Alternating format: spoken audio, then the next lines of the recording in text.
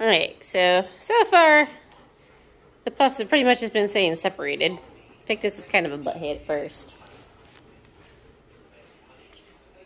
The Dhole's a little bit freaked out if they run toward her.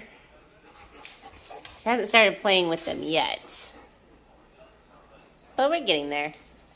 Kind of letting them acclimate in their own time.